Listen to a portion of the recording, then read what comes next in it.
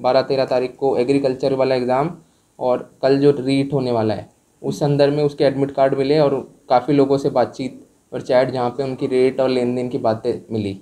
सुनो ना, मैं वो मम्मी जी की पुरानी गोल्ड ज्वेलरी नहीं पहनना चाहती। क्यों ना हम तनिष्क ज्वेलर्स चले, जहाँ हमें पुरानी 22 कैरेट या ज़्यादा की गोल्ड ज्वेलरी पर मिलेगी 100% exchange value visit Tanishq jewellers at India motor circle Ajmer T N C applied जय हिंद। आईजी सर और एसपी सर की स्पेशल प्लानिंग और सपोर्ट के साथ कुछ इन्फॉर्मेशन इस चीज़ पे मिल रही थी कि अभी जो रीट का एग्ज़ाम है इसमें चीटिंग करने वाले कुछ लोग हैं जो लोगों को लुझा रहे हैं। उसके अलावा उनसे एडमिट कार्ड और पैसे मांगने की बात करते हैं।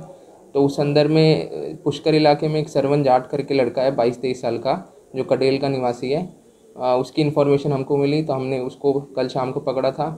उसके बाद इसके जब मोबाइल चेक किया गया तो इसमें पिछले कुछ एग्ज़ाम जैसे कि नीट जो हुआ था बारह तेरह तारीख को एग्रीकल्चर वाला एग्ज़ाम और कल जो रीट होने वाला है, उस संदर्भ में उसके एडमिट कार्ड मिले और काफ़ी लोगों से बातचीत और चैट जहाँ पे उनकी रेट और लेन देन की बातें मिली।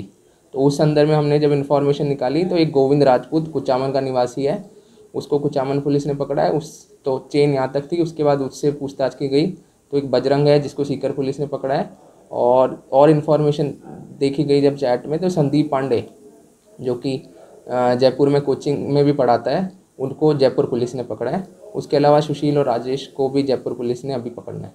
कितने लोग हैं ये? पाँच छः लोगों का गैंग है इस जो चैटिंग के थ्रू है और इनके अलावा भी काफ़ी और लोगों के नेटवर्क अलग अलग जगह से निकल के आ रहे हैं। कार्रवाई जारी है कार्रवाई जारी है अभी तो जो कल एग्ज़ाम है उस पर ध्यान है कि वहाँ तक और जितने भी इस तरह की चेन हैं क्योंकि ये एक जगह के लोग नहीं है। ये पूरे राजस्थान में फैले हुए अलग अलग चेन बन रही है तो वो जितनी चेन हम एक एक आइडेंटिफाई करके आगे बढ़ते जा रहे हैं अभी। और एक चीज़ जो गुंजाइश ये है कि कई बार ऐसा है कि लोग, झांसे में फंस के कई लोग सभी इसमें इन्वॉल्व नहीं है, लेकिन झांसे में फंस के बच्चे चाहते हैं कि हमारा सिलेक्शन हो जाए, इस वजह से किसी के भी बात मान के लोग फंस जाते हैं और इसमें जो बच्चे जो तैयारी कर रहे हैं, उनका भविष्य भी ख़राब हो रहा है। तो ये भी हमारी दरख्वास्त रहेगी पुलिस की कि इस तरह के झूठे झांसों में ना फंसे। धन्यवाद।